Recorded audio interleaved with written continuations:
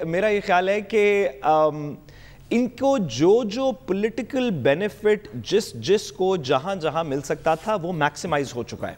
जरदारी साहब किसी भी इलेक्शन के अंदर कोई नेशनल गवर्नमेंट की हुकूमत तो बनाने नहीं वाले अगले चंद दिनों के अंदर द मैक्सिमम जो कि वो एक्सपेक्ट कर सकते हैं वो ये है कि सिंध की हुकूमत रहे वो उनके पास ऑलरेडी मौजूद है। पाकिस्तान मुस्लिम लीग नून के पास पंजाब की हुकूमत रहे वफाक की हुकूमत रहे वो उनके पास ऑलरेडी मौजूद है। का उसको थोड़ा सा हिस्सा मिला जाए वो उनके पास ऑलरेडी मौजूद है। फजल रहमान साहब को थोड़ा सा हिस्सा मिले वो ऑलरेडी मौजूद है।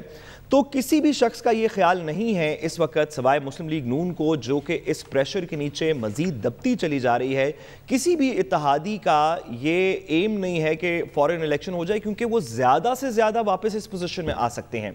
मुस्लिम लीग नून ने पिछले तीन साल के अंदर एक कैंपेन की जिसमें उनकी पब्लिक पॉपुलैरिटी बढ़ रही थी। हम्म। मरियम साहिबा के जल से नवाज़ शरीफ साहब की इधर उधर की तकरीरें उनसे आप एग्री करें डिसएग्री करें लेकिन हम सबने देखा कि उसकी एक पब्लिक पॉपुलैरिटी थी। उनको सबसे ज़्यादा ठेस इस वजह से पहुँच रही है कि वो पॉपुलैरिटी अब हो गई खत्म। आप कह रहे हैं कि ठेस ज़्यादा मुस्लिम लीग नून को पहुँच रही है क्योंकि उन्होंने इमरान खान के दौर में जो पॉपुलैरिटी हासिल की थी अब उन्हें जब डिलीवर करना पड़ रहा है तो आवाम और मीडिया उनसे सवाल कर